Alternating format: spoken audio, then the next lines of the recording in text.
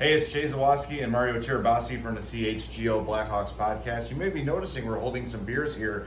This is the brand new Blackhawks Pale Ale from our friends at Goose Island.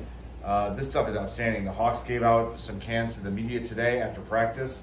We had a couple during the show, and Yeah. Mario is our resident beer expert. So uh, give us a rundown. Uh, yeah, it's really good. It's a it's a it's a pale ale, uh, five percent ABV, so a little bit heavier than your traditional uh, light beers that you see at most uh, tailgates and at the sporting events. But these will be uh, bountiful at the UC this year. I'm I'm certain of it. Uh, we'll definitely keep our CHGO refrigerator uh, stocked because we're gonna need these for all 82 games this year. But uh, it's a it's a good beer. It's gonna go down smooth. Uh, I think great taste and less filling is used, but uh, it's a good can. You know, it's it's something you got to have in the beer game.